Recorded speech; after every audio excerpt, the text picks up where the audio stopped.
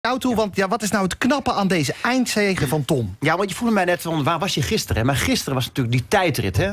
Maar eigenlijk, het was geen moment spannend. Kijk, ik heb het ook een beetje gevolgd op Twitter. En dan zie je iedereen maar reageren. En oh, oh, oh, wat is spannend. Oh, oh, oh, tot de allerlaatste meter.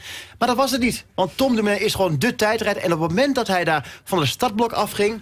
en daarna zag ik Quintana gaan, dacht ik van... ja, maar dit is toch een kansloze missie voor... Ja, ja, ja, ja, ja. Dat, dat is niet waar, want ik ben, ik bedoel, we hebben het natuurlijk hier ook vaak gehad over Feyenoord. Ja? En die moesten toen een keertje tegen Excelsior. En toen konden ze makkelijk kampioen worden. En wat gebeurde? Choken, heb ik van Ja, Mart Smeets geleerd. anders. En baf, maar je zag gewoon aan alles van... Oh, en, en dan met name na, na, na 10 kilometer, dan was het gewoon klaar.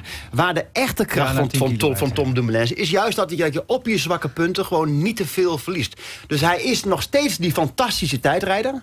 Die die echt, daar, daar was hij echt goed in. Maar hij heeft wel aan zijn, aan zijn, aan zijn, aan zijn hè, dat, dat, dat klimmen, daar heeft hij, weet hij heel goed wat hij kan en wat, wat hij niet kan. Dus hij gaat daar, hij kan mee, hij kan lossen op het moment waar hij denkt van als ik nu doorga, dan knap ik echt. En Dus ik vond eigenlijk die etappe van zaterdag, dat was de etappe. Daar klopte alles aan die man. Daar zag hij gewoon Quintana en Nibali, die dan zogenaamd een, pack, een, een pact vormden. Wat helemaal niet waar was, want die kwamen er helemaal niet over eens. Die demereerden, maar die waren het niet eens. Ja, maar ze verzorgden elkaar wel. ja, maar Tom kon niet mee, hè? En dan moest een paar keer moest hij lossen. En op een gegeven moment kreeg hij dan wel Bauke Mollema mee... die hem dan in, de, in, in, de, in die 15 kilometer nog een beetje vlak... dat ze samen gingen werken. En dat, dat vond ik zo knap, want daar had hij eigenlijk...